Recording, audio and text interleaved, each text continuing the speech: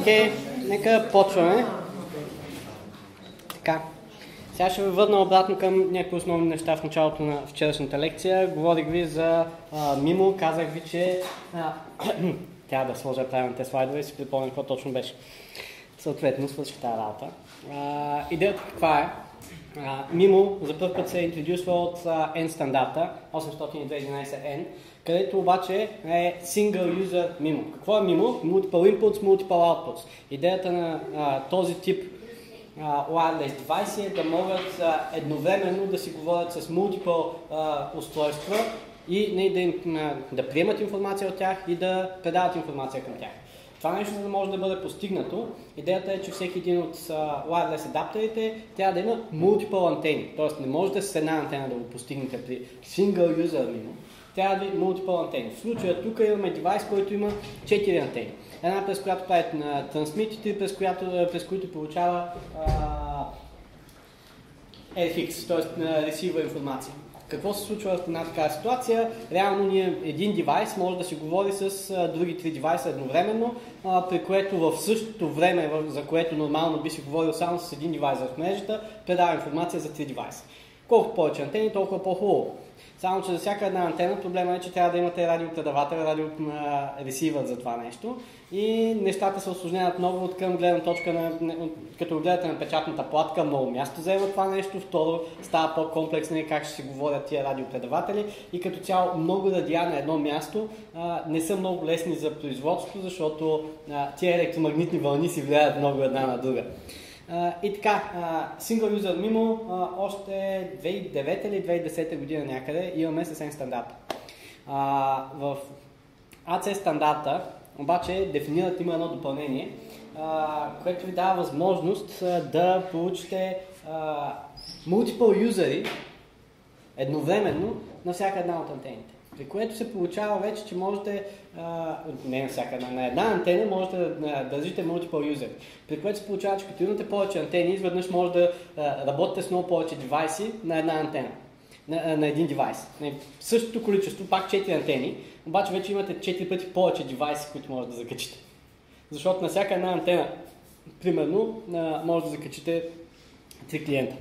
Какво се получава тук? Ето ви ако имаме 350 мегабита N стандарт, един стрим, се получава, че може да си говорим с а, трима клиента, които ще си делят тия 350 мегабита и получават 116-117 мегабита всеки. Не теоретично. На практика обаче, ако ние използваме multiple user мимото, се получава, че а, с същия брой антени, този девайс вече може да достигне до 850 мегабита, при което а, всеки един от клиентите получава 283. Тук схванахте ли за какво говорим? Въпроси? Как така? Как така? И да, защото нали, то преди това е било ефисово. Нали, това просто означава количество на хора, които могат да се обслужат там. Пер антена. Съответно, сега вместо да можеш на всяка една антена да обслужваш само по един клиент, така както е отляво. Ето е така. А, ти реално вече можеш да, да обслужваш multiple клиенти, т.е. тия три клиента вече по три в същата антена. Обаче имаш още една антена. Имаш още една антена. Не, във всяка една антена вече имаш по три клиента. При което много готино можеш да а, закачиш много повече девайс. Това, което, девайсите, които поддържат multiple uh, user uh, мимото, uh, са девайси, които са обикновено ACS. В случая ние на OpenFest ползвахме uh, Linksys 1900 ACS, който поддържа точно това нещо. Uh, TP-Link, D-Link uh, също имат uh, альтернативни девайси. В нашия случай това просто беше най-лесен за OpenWRT. Какво? Скъпи ли са? Ми... Трудно ми е да дефинирам, не знам колко би дал ти за ефтин рутер. не знам дали са скъпи. Моята дефиниция вече се промени, като трябва да пазарувам за феста. Правилен въпрос. Отразява ли се на цената новата функционалност? Отразява ли се на цената на новата функционалност? Естествено. На новите девайси винаги са по-скъпи от старите девайси. Но пък в една, има една такава ситуация, в която стари девайси, които са single user MIMO, струват същата цена като нови девайси, които са multi-user MIMO. Просто едните ги имат все още на склад, а новите все още също uh, тъкмо ги интродюсват. Така, тук пропускаме някакви неща. Да, сега, за а, фреймовете, тук е така, дето съвсем се обърках. Първо, фрейм контрол частта. В фрейм контрол частта, а, значи аз, защото съм много тъп, така, е, е тая книга, си я предпочетох вчера, да прочета, какво пропуснах при вас. Който иска да разбере а, Low Level uh, Wireless е как работи, 802.11 тази книга е много добра. На мен ми помогна доста за да разбера за какво става на въпрос. Така, да, фрейм контрол. А, в него се описва информация в момента в а, а, кой е а, distribution сегмент сте. За distribution сегмент. Освен това, а, дефинира какво следва след него като тип фрейм. А, дали то фрейм а, е management фрейм, а, дали е а, beacon фрейм, дали е data фрейм. Тоест, там се дефинира какво се очаква от там нататък. Сега, а, преди да стигна до адресите, а, Duration Editor е тук е така. Duration Editor ви вкарва информация за колко, след колко време а, този фрейм ще експайрне в мрежата. А, Duration Editor се използва специално, за да можете да а, кажете, че този фрейм максимално ще използва ей толкова време в ефира и след него някой друг може да говори. Не, това е много важно, защото не, като имаме толкова споделена мрежа, не, то, а, то ефир всички трябва да го споделяме, всички девайси трябва да знаят не, кога ще могат да говорят. Не, не само този рандом фактор, ами по принцип би било хубаво, ако има някакъв начин да знаят кога без да има този рандом бекоф, за да няма нужда от повтаряне много и лупене много в а, този механизъм. В а, това цялото нещо реално е след като вече сте минали, има а, допълнителен фрейм, не, не, така да наречем, а, който е преди тази информация, преди този малък фрейм, който гледаме и тук е така, а, в който се описва а, CSMA, а, там, не, в който се описва дали имате възможност да изпращате или не. Okay? Така, сега, следващото нещо. Адресите. Така, адресите са изключително странна част. Първият ви е ресивър адреса, като не, а, адреса а, не е едно към едно мапнат към destination адреса. Поради простата причина, че ресивъра и дестинацията на този пакет могат да бъдат различни неща. Особено, че дестинацията може да бъде а, адрес, който изобщо не е в физическата част на wireless а може да бъде някакъв Ethernet MAC адрес. И тук са MAC адреси, пак не, не се бъркайте, MAC адреси са, нормални MAC адреси, които виждаме в Ethernet. Обаче а, в а, ресивъра в случая не се знае не, дали получателя не е следващ wireless девайс.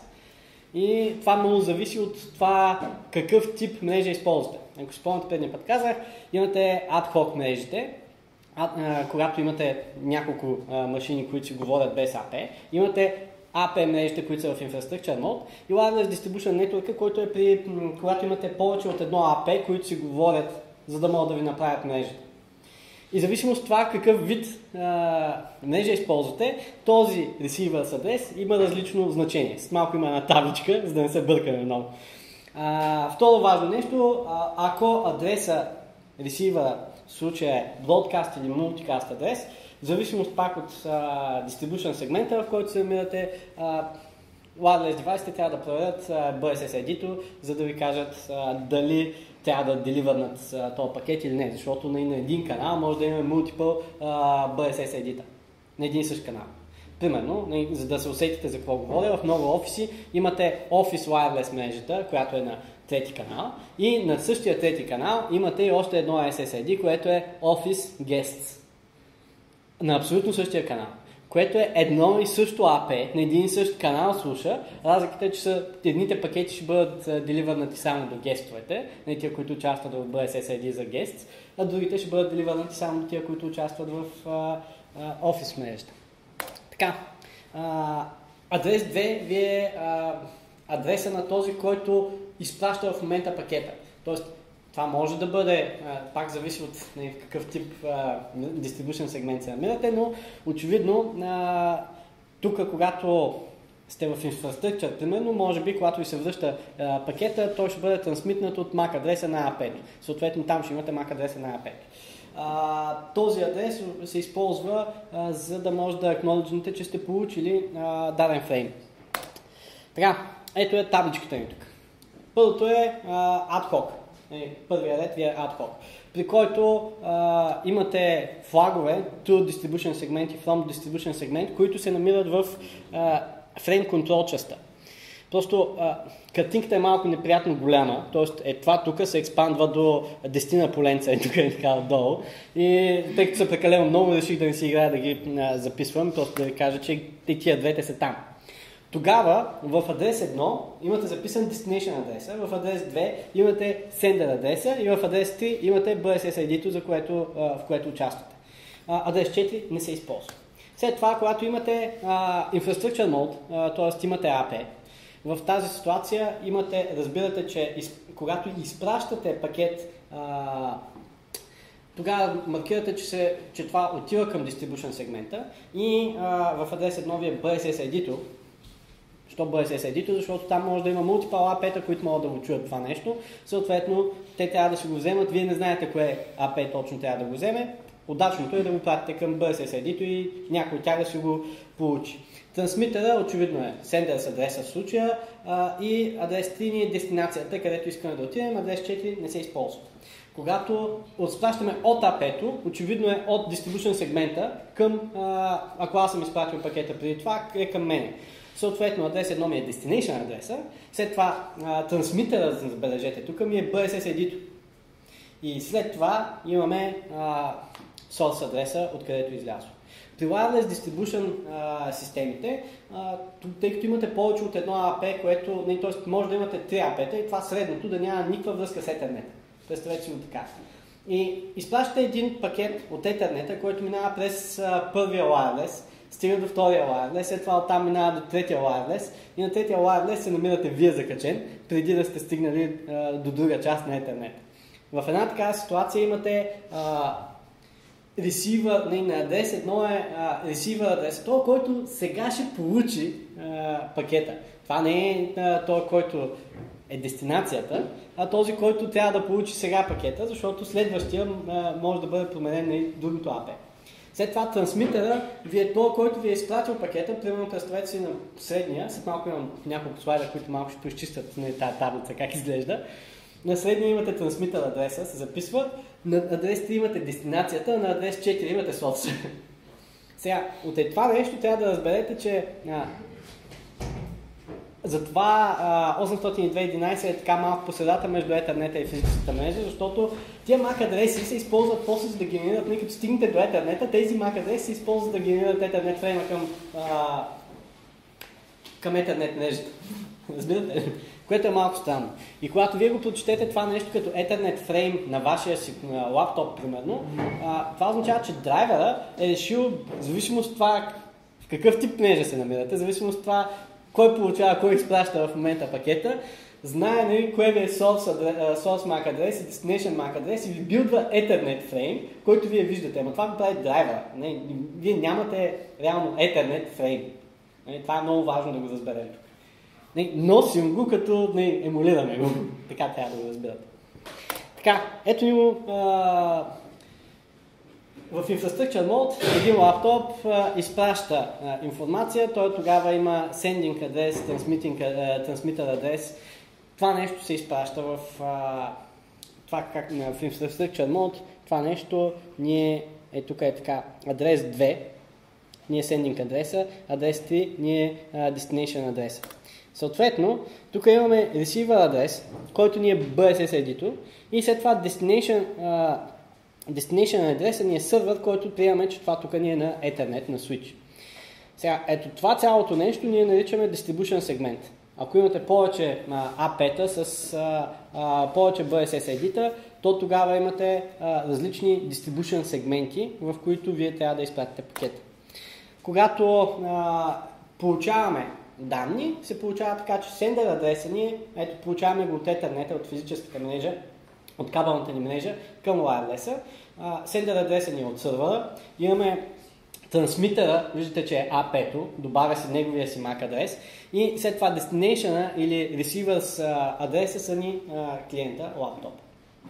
Надявам се сега този фрейм стана малко по-ясен и не, разбирате какво се предава там и защо. Ако има някакви въпроси, нека да отговоря сега. Не трябва да спомням това, не? Мисля, имам пред таблицата как изглежда. А, таблицата не. Но трябва да знаете, че има sender адрес, transmitter адрес, receiver адрес, не 4 адреса. Което няма значение, не, вие няма го запомните кое къде е по таблицата, очевидно и го помня на Изус, не за да ви го кажа предния път. Uh, има 4 адреса, които трябва да запомните и multiple BSS ID, които може да имате. Така, uh, при Wireless Distribution System имате следната ситуация пак. Тия две ap се използват за пренос на етернета ви, при което виждате, че от едната страна имате трансмитър адрес, от другата страна имате ресивър адрес, и когато трафика върви от клиента към сървъра, обратното се нарежда, когато се обърне трафика от сървъра към клиента. Просто се разменят. Не, реално се нарежда точно обратно. Да? А ресивър адрес, трансмитър адрес, каква функция? Ресивър адрес, трансмитър адрес дават възможност да знаеш в wireless ефира, когато тук имаш не 2, а 10 ап да знаеш кое АП трябва да поеме и да прехвърли нататък пакета. Като имаш повече ап е хубаво да знаеш към кое го изплащаш. Иначе всичките ще трябва да бълнат този трафик навънка от етернета си. Не? Така. Как се разбира първоначално към кое трябва да го изплатиш? Как се разбира първоначално? Ми, ARP. Не, ти първоначално правиш някакъв етернет по принцип. Не, като на кабел, просто като имаш бродкаст адрес, не, тогава това нещо ти отива или мултикаст. Не, и на Ethernet имахме бродкаст и мулти, мултикаст адрес. Не е така. Съответно, същото нещо работи и тук, само че когато го изпращаш към бродкаст, е към BSS ID и съответно ще го хванат всичките ap и тук е така и ще го деливърнат навсякъде. Защо? Защото малко е тъпо бродкаста да ти е unicast wireless пакети, не? Така, не unicast стримове. По е простата причина, че тъй като радио ефира е не, така, доста хубава свободна среда, няма нужда да повтарям за тебе, за колегата за тебе, за колегата до него едно и също нещо три пъти, тъй като най-вероятно и тримата сте ме чули още първия път, като съм казал на тебе. Не? Така. Съответно, аз казвам за BSSID Hix, изпращам това нещо, това е мултикаст, всички го получават и тези специално тези мултикаст адреси, примерно в фрейма е тук е така, има duration ID от 0, т.е. там няма нужда да се изчаква нали, да, дойдат, да има допълнителна информация, очаква се тези мултикаст пакети да бъдат изключително малки и да бродкаствам тази информация към вас с малко дейта в тях. Да не заемам дълго време ефира. Така.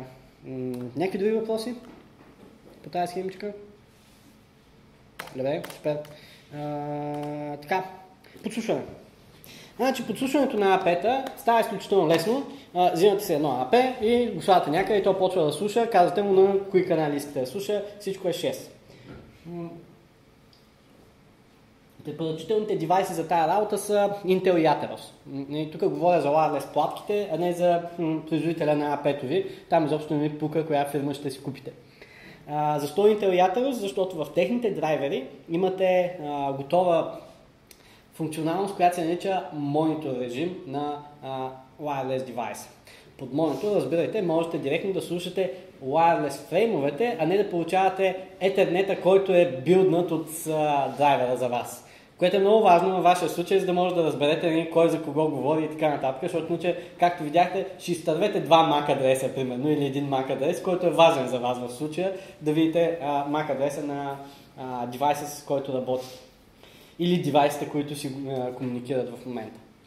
Така, а, как става физически това нещо? А, вариант едно е да си купите някакъв малък девайс и да слушате този трафик, да си го записвате. Под малък девайс разбирате нещо от сорта на кибритърна кутика с а, а, една батерика, колкото същата кибритърна кутика може да изкара 2-3 дни и да запише достатъчно много трафик, в зависимост на колко голяма SD карта сте сложили в този девайс. Uh, има достатъчно хубави производители, да правят това нещо и само го настроите на кои канали искате да слуша и си записвате целият трафик, след това отивате и си го взимате и си събирате този трафик при вас. Защо ви трябва трафика, ще разберете след малко. Не, той ще е криптиран до един момент. Така, а, сега това е, да? За нещо като Вокора става? За какво? Вокора. Не е много удачен, не, той готин, ще свърши работа. Проблема му е, че а, не е много удачен от гледна точка на това, че самият девайс не позволява толкова много функционалности. Например, може да си вземеш микротик или тепелинка, които са точно толкова малки, в хубава пластмасова кутийка, на които може да им забудеш една нормална USB батерия за за телефон, дето си чарджваш. Не, като сложиш една 4000 ампера а, батерия, иска да е, милиампера батерия, това е много сериозен а, акумулатор за това нещо. Може и цяла седмица сигурно да изкара, не, само да слуша, тъй като той не трансмитва, той само ще слуша, може да направите много готини неща. А, Vocoder е също готин девайс и не може да го направите така. Ралинка като девайс обаче не го препоръчвам. Не, като м, wireless адаптер не го препоръчвам за тази работа. Специално интелите и ятелостите имат и по-добър power management контрол, с който можеш да си поиграеш, съответно по-дълго време да колектваш дейта. Така, а, с- да. Ако настроя да слуша на някои канали, то слуша от всички апети, които са наблизо или... А, ти можеш да го настроиш да слушаш само на един канал. Тоест, такива А5, които могат да слушат на повече от един канал едновременно, а, са такива, които имат повече антени. Те са по-бълки, нали, по-големички кутии с доста антени. Някакси не са а, такива, които ще можеш да скриеш много лесно. Въпреки, че не, точно а, днеска гледах една така снимка на един принтер HP, в който реално има един wireless и освен това има и а, GSM Base Station вътре сложени. Скрити, то прилича наистина на истински лазерен принтер, ама нищо общо. Просто са го оставили там в офиса и са си го взели след това. Така че, не, внимайте. да.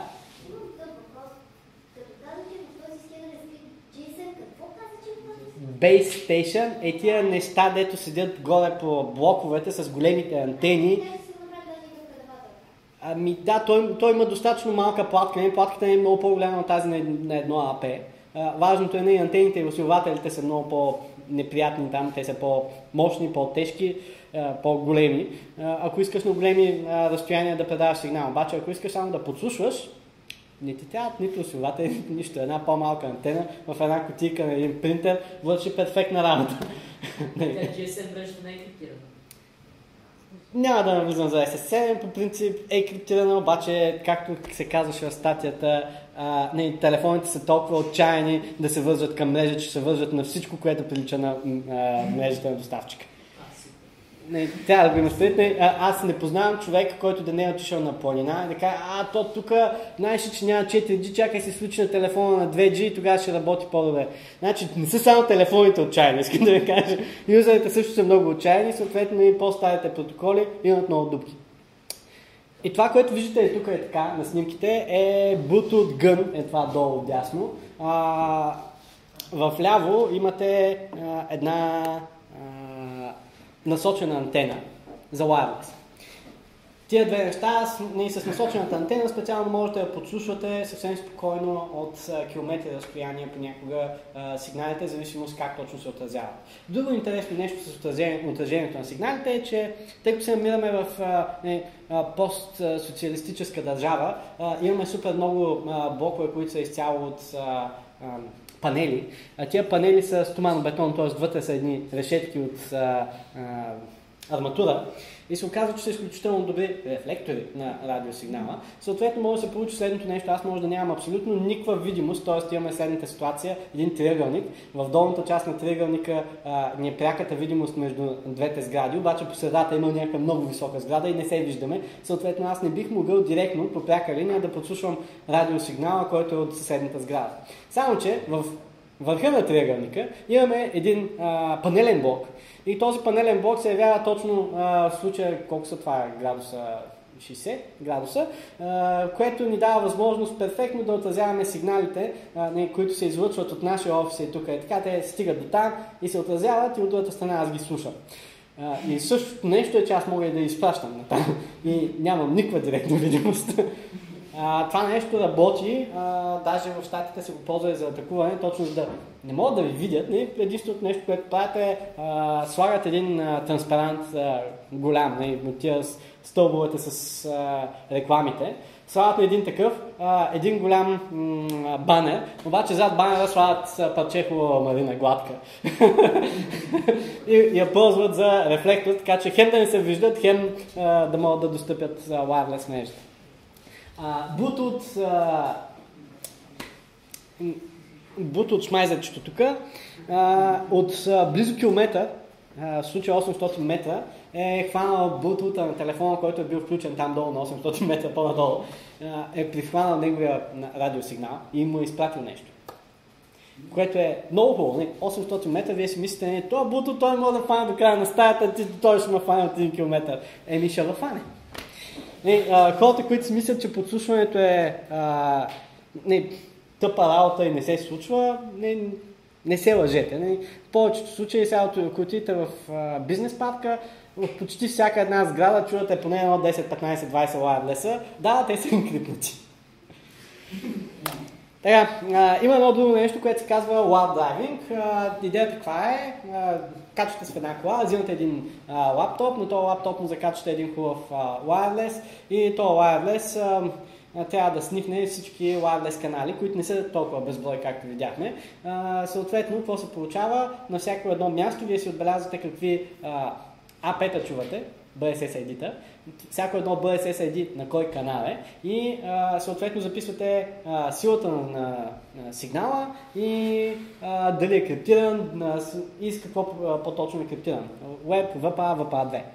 Записвате си го това нещо и правите една карта. Ето това е една карта Grand Park, това а, в Чикаго. Така да, правилно. Това е една карта в Чикаго. Това е от сигурно 6 години сме свалили някъде от интернет. А, показва къде има wireless Зелените неща са а, изцяло open wireless на които може да се закачите. Червените неща са неща, които са били защитени с парола. Като сега по-често, когато се прави такава карта, имате три цвята. А, имате такива, които са с а, open, такива, които са жълтичко или на синичко, които реално може да отключите и такива в червено, които реално се водят с Secure а, Authentication.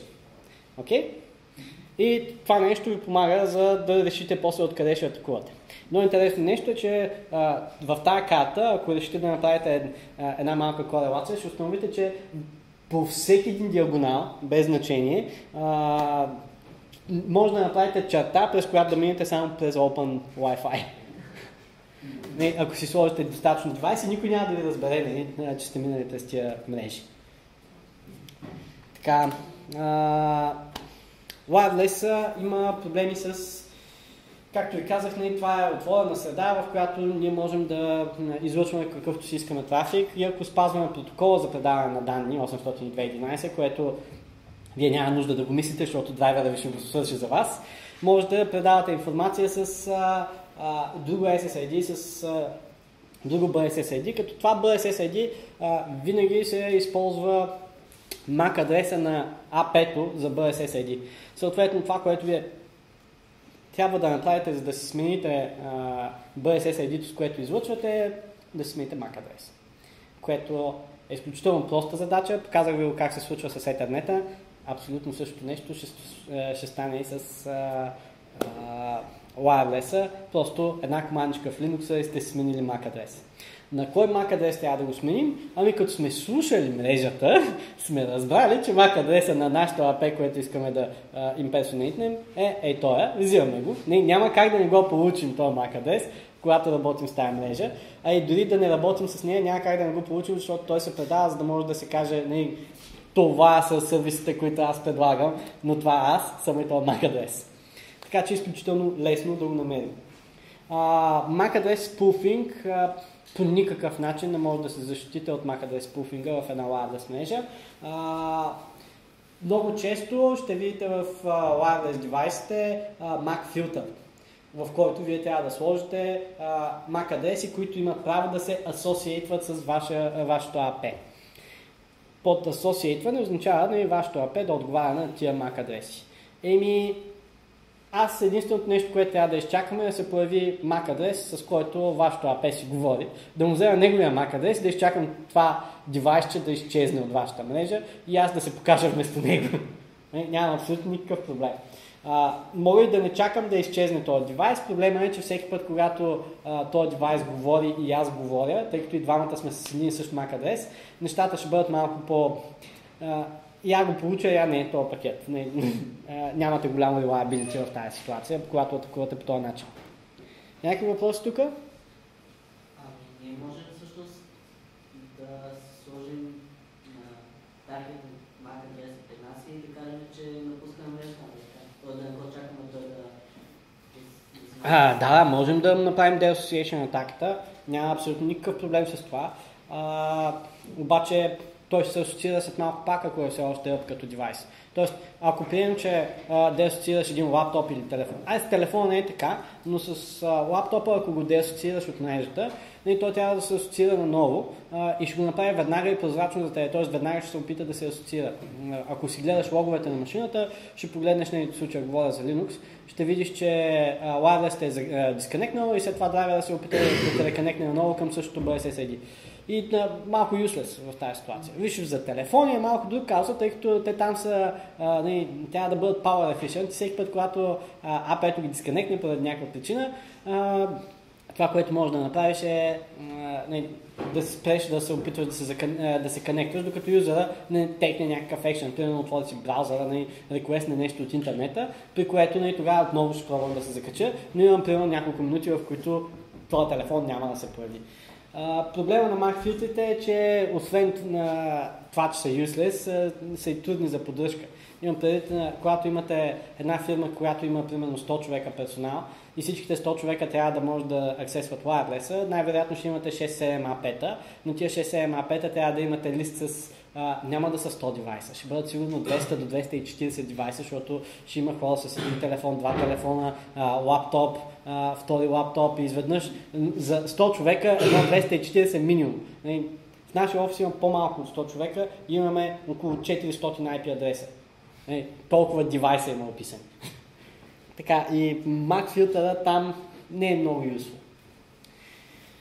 А, от друга страна е useful, ако знаете MAC адресите, които искате да пускате трафика навътре към вашата Ethernet мрежа, там да направите такъв филтър навътре към Ethernet мрежата, какво да ви се пуска.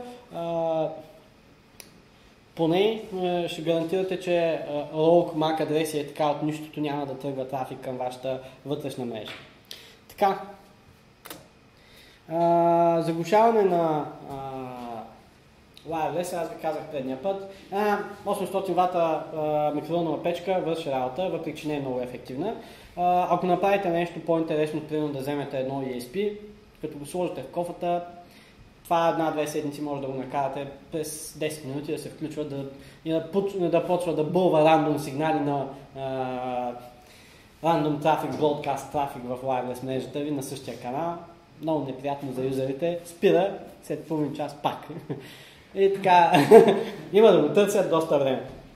А, така, за да получим Faraday кафес, можем да използваме а, стъкла, които имат метални нишки в себе си или а, имат дори стъкла с а, олово в себе си, а, така че да сте сигурни, че няма да излезе а, радиосигнала от вашето място и това, което сте гледали по филмите а, е вярно, т.е. хората влизат в някакви стаи, които са целите от стъкло, а, обаче това стъкло не е нормално стъкло, има олово в себе си, реално е метал.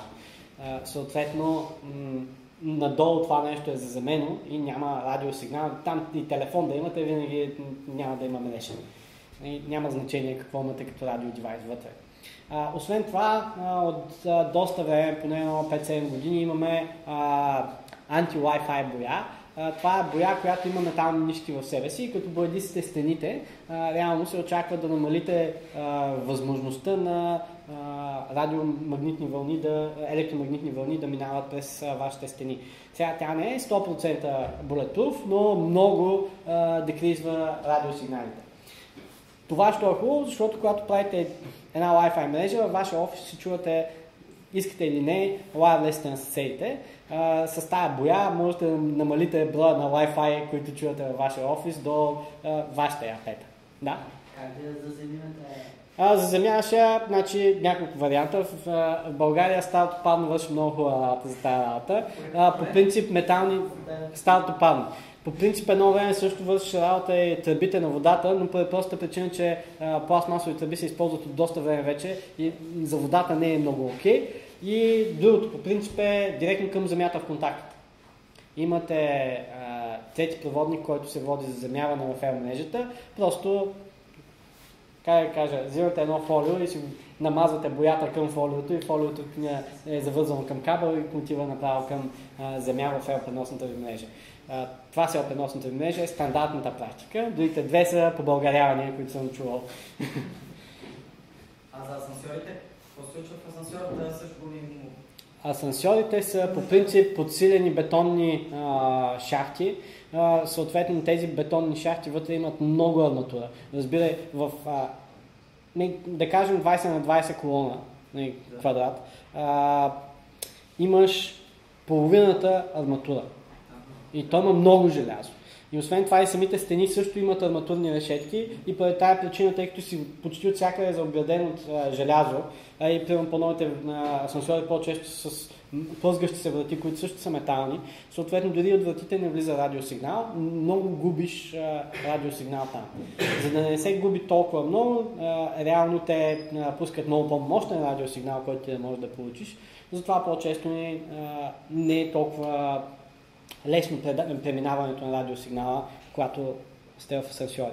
Друго важно нещо, което предния път ви споменах, ако си спомняте, е дължината на вълните. Така, някъде тук имаше дължина на вълните. Така, тези вълни, с които ние а, работим, по принцип са а, там около 2,4 до 5, до 5 ГГц. И а, това са ви под 100 метра дължина на вълната. Тоест, ако се получи, че една вълна цялата успее да влезе в нещо, където затихва, примерно представете си 100 метра е разстоянието между стена и стена Б на сградата, и wireless сигнала точно на двата пика се падат в двете стени, реално този сигнал няма да излезе от тази, от тази сграда. От другата страна ще чува шум основно, защото пиковете ще бъдат изядени, ще падат точно на арматурата и ще се заземяват. Разбирате ли това? Това е казус, който е много интересен, защото а, може да се окаже, че когато сложите АП на 10-15 см от бетона отгоре, не слато в а, таван, ако направите добре сметката, разпространението на радиосигнала може да ви се падне точно първ, първия пик, да ви се падне в, а, в бетонната плоча. много неприятно, ако ви очаквате да ползвате wireless там.